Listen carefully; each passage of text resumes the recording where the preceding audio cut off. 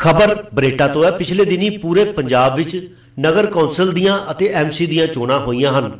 ਜਿਸ ਦੌਰਾਨ ਬਰੇਟਾ ਮੰਡੀ ਦੇ ਵਿੱਚ ਐਮਸੀ ਦੀਆਂ ਚੋਣਾਂ ਦੇ ਦੌਰਾਨ ਰਿਟਰਨਿੰਗ ਅਫਸਰ ਦੇ ਤੌਰ ਤੇ ਐਸਡੀਐਮ ਸਰਦੂਲਗੜ੍ਹ ਸਰਬਜੀਤ ਕੌਰ ਨੂੰ ਤਾਇਨਾਤ ਕੀਤਾ ਗਿਆ ਸੀ ਅਤੇ ਸਰਬਜੀਤ ਕੌਰ ਨੇ ਆਪਣੀ ਡਿਊਟੀ ਬੜੀ ਹੀ ਤਨਦੇਹੀ ਤੇ ਇਮਾਨਦਾਰੀ ਨਾਲ ਨਿਭਾਈ ਅਤੇ ਮੌਜੂਦਾ ਸਰਕਾਰ ਦੇ ਕਿਸੇ ਵੀ ਲੀਡਰ ਦਾ ਖੌਫ ਨਾ ਮੰਨਦੇ ਹੋਏ ਨਤੀਜੇ ਨੂੰ ਪਾਰਦਰਸ਼ੀ ਢੰਗ ਨਾਲ ਲੋਕਾਂ ਦੇ ਅੱਗੇ ਪੇਸ਼ ਕੀਤਾ।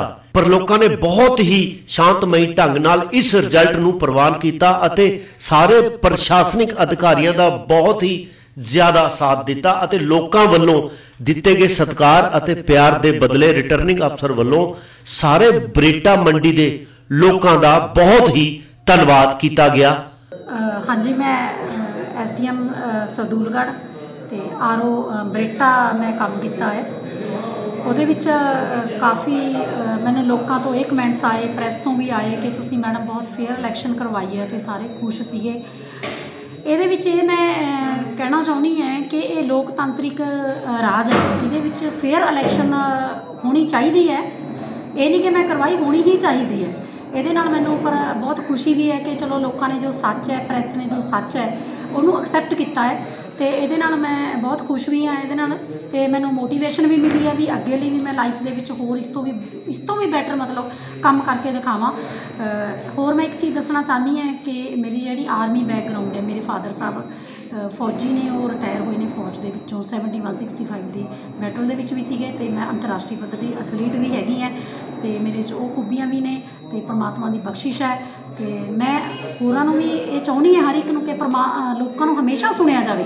ਤੇ ਮੈਂ ਐਸਡੀਐਮ ਸਰਦੂਲਗੜ੍ਹ ਹੁੰਦੇ ਹੋਏ ਵੀ ਇਹ ਹੁਣ ਵੀ ਕਹਿਣਾ ਚਾਹੁੰਦੀ ਹਾਂ ਕਿ ਕਦੇ ਵੀ ਮੇਰੇ ਦਫ਼ਤਰ 'ਚ ਕੋਈ ਆਓ, ਕੋਈ ਫੋਨ ਕਰੋ ਕੋਈ ਕੰਮ ਹੈ, ਉਹ ਦੱਸੋ ਜਾਇਜ਼, ਮੈਂ ਉਹਨਾਂ ਨੂੰ ਹਮੇਸ਼ਾ ਸਹਿਯੋਗ ਕਰਾਂਗੀ ਤੇ ਇਹ ਕਹਿੰਦੀ ਮੈਂ ਆਪਣੇ ਇਹ ਮੋਢਿਆਂ ਤੇ ਗੋਡਿਆਂ ਤੋਂ ਬਹੁਤ ਦੁਖੀ ਸੀ।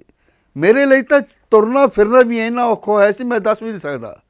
ਪਰ ਜਦ ਤੋਂ ਮੈਨੂੰ ਫੀ ਰਿਲੀਫ ਮਿਲਿਆ ਢਾਈ ਤਿੰਨ ਮਹੀਨੇ ਇਸਤੇਮਾਲ ਕਰਨ ਤੋਂ ਬਾਅਦ ਗੋਡੇ ਵੀ ਓਕੇ ਮੋਢੇ ਵੀ ਓਕੇ ਜੇ ਤੁਸੀਂ ਵੀ ਕਿਸੇ ਇਸ ਤਰ੍ਹਾਂ ਦੀ ਬਿਮਾਰੀ ਤੋਂ ਪਰੇਸ਼ਾਨ ਹੋ, ਤੇ ਬੇਸਹਾ- ਬੇਝਿਜਕ ਹੋ ਕੇ ਇਸ ਨੂੰ ਇਸਤੇਮਾਲ ਕਰੋ।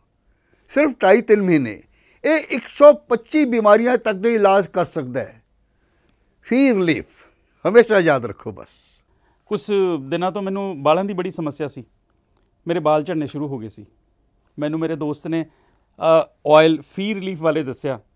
ਮੈਂ ਇਹ ਤੇਲ 3 ਕੁ ਮਹੀਨੇ ਲਾਣਾ ਆਪਣੇ ਸਿਰ ਤੇ ਅਪਲਾਈ ਕੀਤਾ। ਇਹ ਬਿਲਕੁਲ ਆਯੁਰਵੈਦਿਕ ਤੇਲ ਹੈ, ਇਹਦਾ ਕੋਈ ਸਾਈਡ ਇਫੈਕਟ ਨਹੀਂ ਹੈ। ਤੇ ਮੇਰੇ ਵਾਲ ਜਿਹੜੇ ਗੰਜਪਣ ਪੈਣਾ ਸ਼ੁਰੂ ਹੋ ਗਿਆ ਸੀ, ਉਹ ਦੁਬਾਰਾ ਆਉਣ ਲੱਗ ਗਏ। ਤੇ ਮੈਨੂੰ ਤਾਂ ਬੜਾ ਫਾਇਦਾ ਦਿੱਤਾ ਇਸ ਨੇ ਜੇ ਤੁਹਾਨੂੰ ਵੀ ਕਿਸੇ ਇਸ ਤਰ੍ਹਾਂ ਦੀ ਪ੍ਰੋਬਲਮ ਦਾ ਤੁਸੀਂ ਸਾਹਮਣਾ ਕਰ ਰਹੇ ਹੋ, ਤਾਂ ਇਹ ਤੇਲ ਲਾਣਾ ਨਾ ਭੁੱਲੋ। ਕਿਤੇ ਨਾ ਕਿਤੇ ਅਸੀਂ ਆਪਣੇ ਬਾਲਾਂ ਕਰਕੇ ਸ਼ਰਮ ਫੀਲ ਕਰਦੇ ਹਾਂ ਕਿਤੇ ਸੁਸਾਇਟੀ 'ਚ ਬੈਠੇ ਕਿ ਕੋਈ ਮਜ਼ਾਕ ਨਾ ਕਰ ਰਿਹਾ ਹੋਵੇ ਪਰ ਥੈਂਕਸ ਟੂ ਫ੍ਰੀ ਲੀਵ ਜਿਨੇ ਮੇਰਾ ਇਹ ਕੌਨਫੀਡੈਂਸ ਬਿਲਡ ਕੀਤਾ, ਜਿਹਦੇ ਲਗਾਨ ਨਾਲ ਮੈਂ ਮਾਰਕੀਟ 'ਚ ਹੁਣ ਬੜਾ ਹੀ ਕੌਨਫੀਡੈਂਟ ਹਾਂ। ਔਰ ਇਹਦੇ ਨਾਲ ਮੈਨੂੰ ਬੜਾ ਫਾਇਦਾ ਹੋਇਆ ਤੇ ਮੈਨੂੰ ਸਰਵਾਈਕਲ ਦੀ ਵੀ ਦਿੱਕਤ ਸੀ ਤੇ ਉਹਦੇ ਨਾਲ ਵੀ ਮੈਨੂੰ ਬੜਾ ਰਿਲੀਫ ਮਿਲਿਆ।